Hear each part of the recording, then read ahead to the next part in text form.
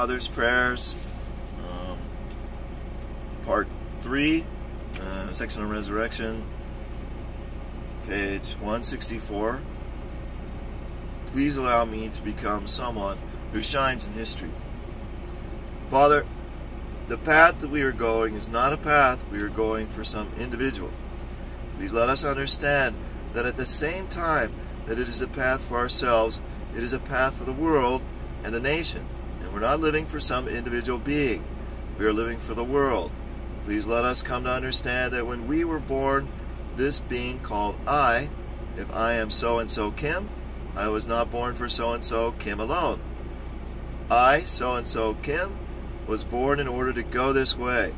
Please allow us to be proud of this of our own accord, and to become those who say that this is the duty of our lives. And please allow us to understand its value.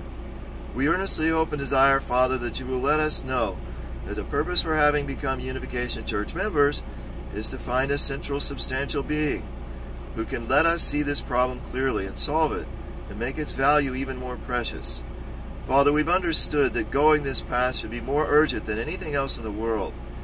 If we ask for whom we've gathered, we've not gathered for the teacher of the Unification Church, and we've not gathered for anything of the Unification Church. Since we want to go forward for the nation, the Unification Church is needed.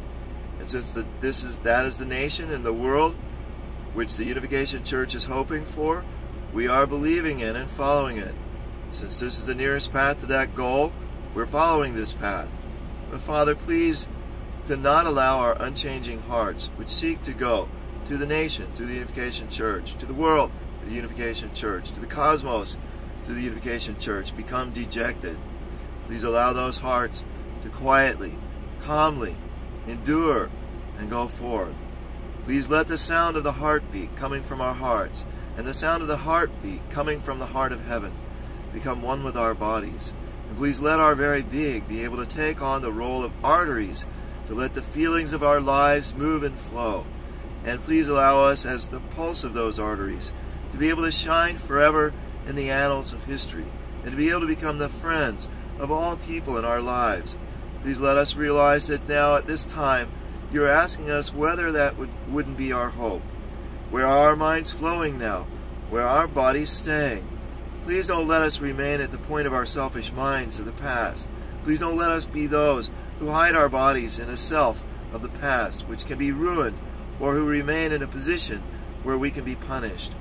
Please allow us to be able to have minds and bodies in a position able to take on the burden of your mind and able to make the minds of humanity on earth bloom. Please allow us to become your princes and princesses who kneel down before you, Father, and determine our loyalty and who imagine an I who is able to become a light of all. Please allow us to become those who are able to quietly, gently grow and to quietly, gently establish our individual positions, which are able to blossom with a fervor of adoration, or positions which are able to shine with the fervor of longing. We'll have to rouse ourselves to action, having hope in a shining tomorrow. We'll have to rouse ourselves to action, having hope in the eye of the shining tomorrow. We'll have to rouse ourselves to action for the sake of the shining new kingdom of heaven. In order to do that, we'll have to become appropriate vessels for it. We'll have to become those who are able to shine internally and externally. And furthermore, we must become your sons and daughters who bow our heads before this relationship, preordained by heaven, and that we must become children who, who are able to call you Father sincerely. Then, in the midst of that love, we will sing of our daily lives, and we earnestly ask you, beloved Father, to allow us all to become your sons and daughters, who in that situation are able to praise the work of each day in a holy way. Please let the remaining time become glorious. In relation to praising ourselves, please let this become a true position. We've humbly prayed all these things in the name of the true parents. August 31st, 1969.